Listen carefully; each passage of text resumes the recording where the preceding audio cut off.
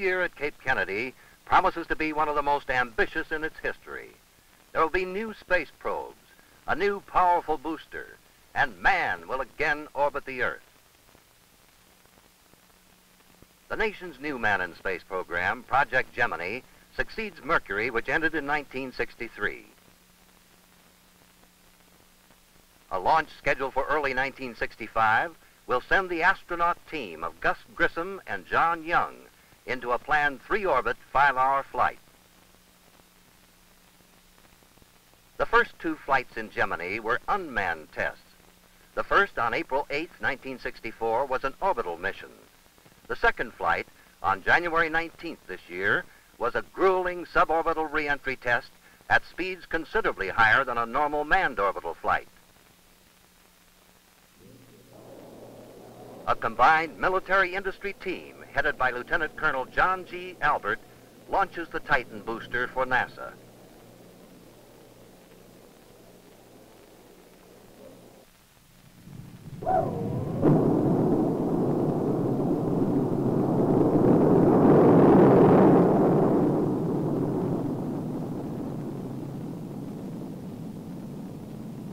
The successful flight and recovery of the unmanned Gemini capsule paved the way for the first two-man space flight, one of a planned series of 10 launches which will ultimately send a pair of astronauts into space on flights lasting up to two weeks.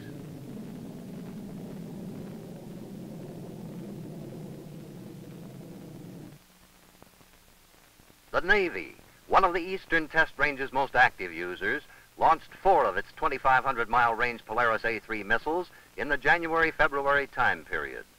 The nuclear submarines, in tests of ship, crew, and missile, conduct these launches while submerged approximately 30 miles off the Cape.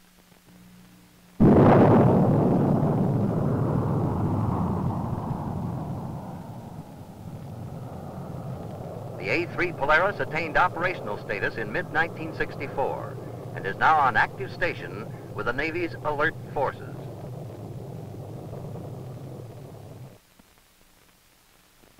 January 22nd, Goddard space technicians prepared a three-stage Thor Delta rocket for an unusual flight. Its mission, place a new version of the Tiros weather satellite into circular polar orbit 460 miles above the Earth. The flight, a forerunner of a joint NASA-U.S. Weather Bureau program, will permit photographing the entire sunlit portion of the Earth daily. To accomplish this, three precise, complicated space maneuvers would be necessary. The difficult orbit required that the rocket be programmed to fly south over populated areas, the first such flight from Cape Kennedy. The boost and guidance phase of the flight was normal. However, a command signal from Earth failed to shut off the second stage, resulting in longer powered flight and a higher than planned orbit. The satellite, however, will still provide valuable information for weather analysis. In the early morning hours of January 28th, the Blue Scout, a four-stage solid-fueled rocket, was made ready for flight. The Scout, a standardized launch vehicle, economical and versatile, is used in subsystem development and scientific experiments in the upper atmosphere. January's flight carried a 33-pound payload and was programmed to reach an altitude of 21,000 miles. Mission objectives were to learn more of the Earth's magnetic field and how it is affected by the sun's radiations. With all pre-flight checks completed, the blockhouse crew launched the Blue Scout rocket at 7.51 a.m.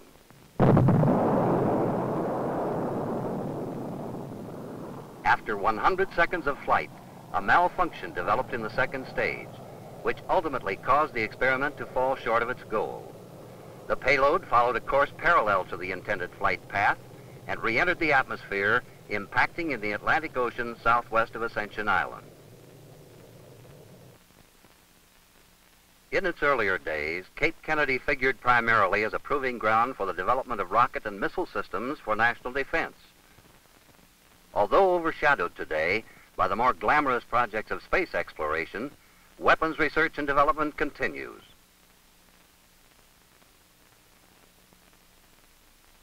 On January 28th, members of the 6555th Aerospace Test Wing successfully launched Minuteman II from an underground silo on Complex 31.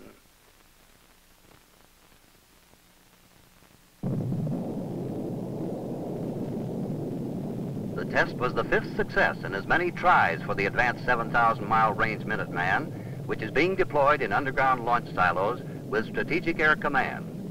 This flight successfully placed its instrumented payload into the planned target area near Ascension Island in the South Atlantic. On February 3rd, OSO 2 was successfully launched into a 350 mile high orbit.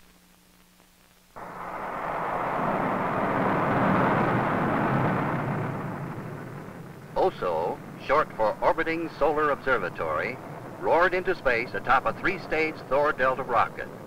The satellite's sensitive instruments were designed to measure the sphere of hot gases around the sun and learn more about the effects of the sun's thermonuclear radiation on Earth and other planets. OSO 2 is the second of eight similar satellites planned throughout an 11-year solar cycle to study the astrophysical phenomena of Earth's nearest star.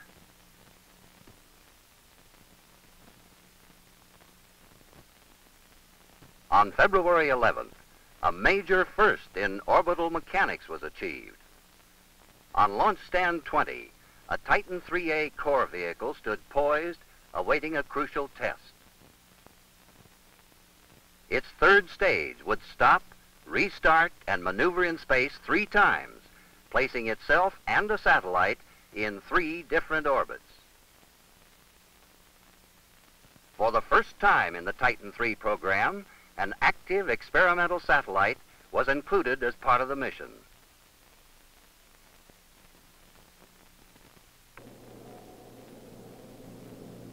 The program is under direction of Space Systems Division of the Air Force Systems Command.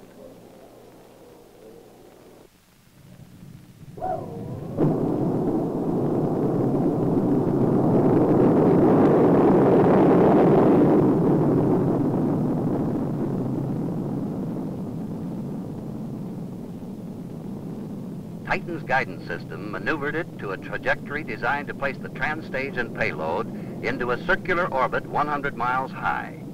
From this parking orbit, at various intervals, the transtage executed four intricate orbital maneuvers in space, which finally placed the vehicle in a 1,500 mile high orbit and successfully ejected the bonus payload. An impressive space score for the Titan III system.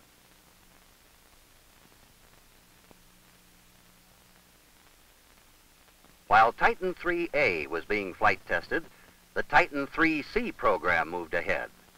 Flight hardware for the huge solid-fueled boosters arrived for checkout. When assembled, the 120-inch solid fuel segments will produce a booster with 1 million pounds of thrust.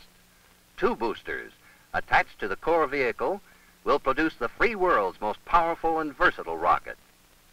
The first Titan 3C flight is tentatively scheduled for the latter part of May 1965. The huge booster rocket's exhaust nozzles, with its precision hydraulically operated guidance devices, went through rigorous checkouts before attachment to the booster.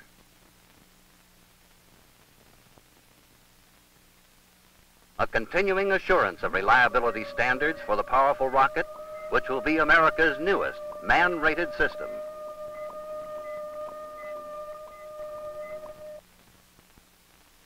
Learn more about the tiny meteoroids that streak through space at speeds up to 45 miles per second, NASA in February prepared a giant winged satellite for a unique mission in space. When placed in orbit by the Saturn rocket, the Pegasus spacecraft, named after the winged monster of mythology, will spread its 96-foot wings to measure and count the dust particles in space. Impacts are counted by an interruption of an electrical charge on the aluminum foil surface of the wings. Pegasus is expected to provide valuable information for the design of meteoroid shielding for the manned Apollo spacecraft.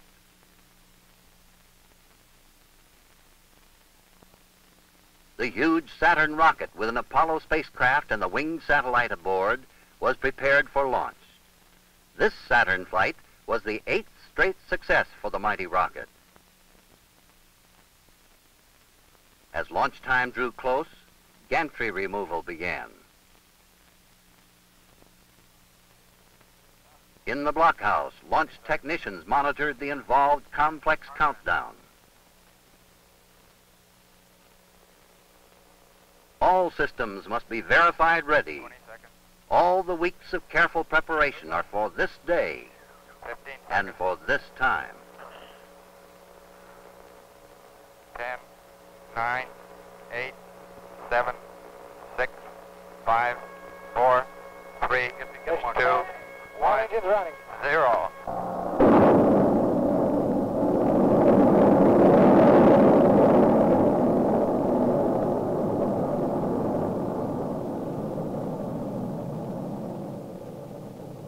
The Pegasus payload was propelled into an orbit ranging from 308 to 458 miles high and is successfully transmitting important data on the density, size, and speed of space dust particles.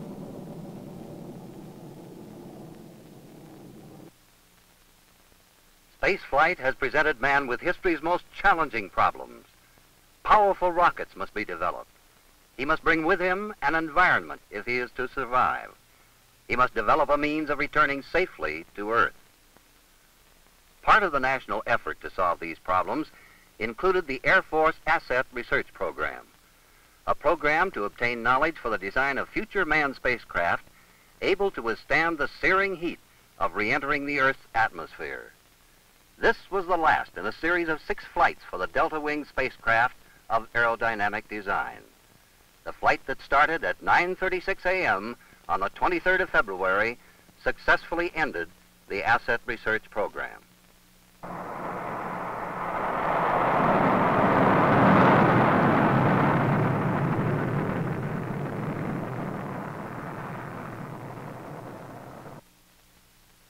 On February 23rd, Vice President Hubert Humphrey arrived at Cape Kennedy for his first visit to the nation's spaceport. In his executive role, he's the chairman of the National Aeronautics and Space Council. During the six-hour tour, he visited all of the major facilities of the Cape and Merritt Island launch area. General Huston, commander of the Air Force Eastern Test Range, and Dr. Kurt Debus, director of NASA's Kennedy Space Center, accompanied the vice president on the tour. A highlight of the tour was his visit to Complex 19 and briefing by Lieutenant Colonel John G. Albert on Project Gemini.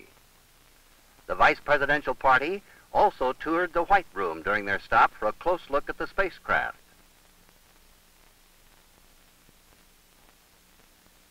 At Complex 37, Lieutenant Colonel Rocco Petrone briefed the vice president on the Apollo program with models of the Saturn V launch vehicle, which will eventually send three astronauts on a lunar landing mission. The last stop of the day was at the Air Force Titan III complex. He was briefed by Generals Bleymaier and Evans of Space Systems Division on the versatility and numerous capabilities of this new concept in rocketry using a combination of solid and liquid fuel motors as a launch system. Before his departure, the Vice President said of the space program, My only regret is that we didn't start sooner.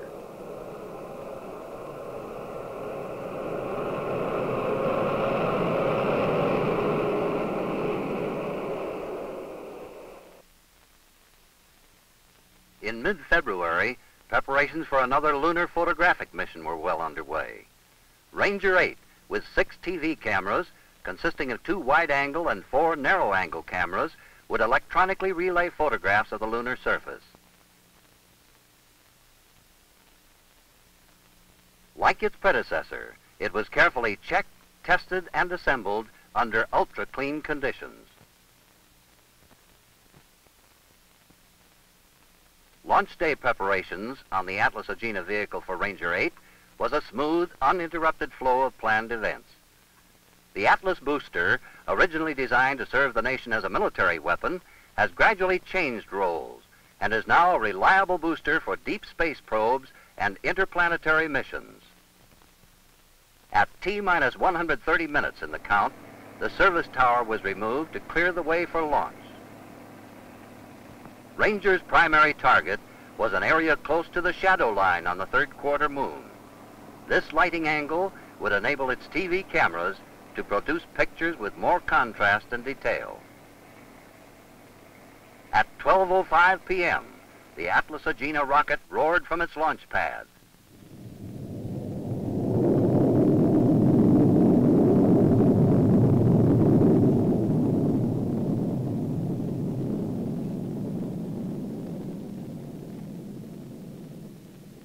After 12 minutes of flight, the 808-pound spacecraft was placed into a 115-mile-high parking orbit. Eight minutes later, the Agena stage propelled Ranger on its path to the moon.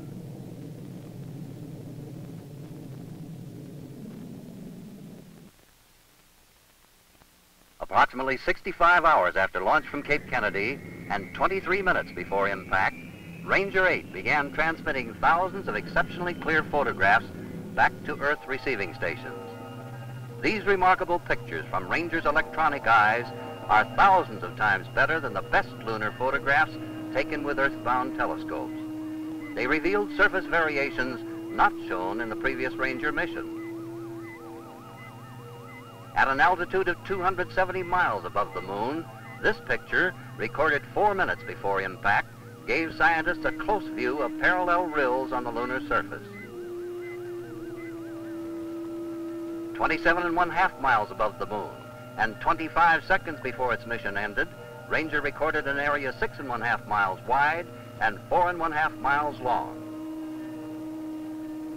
12,000 feet and approximately two seconds from impact, the spacecraft recorded the last of over 7,000 pictures. Pictures that will contribute to man's knowledge of the lunar surface.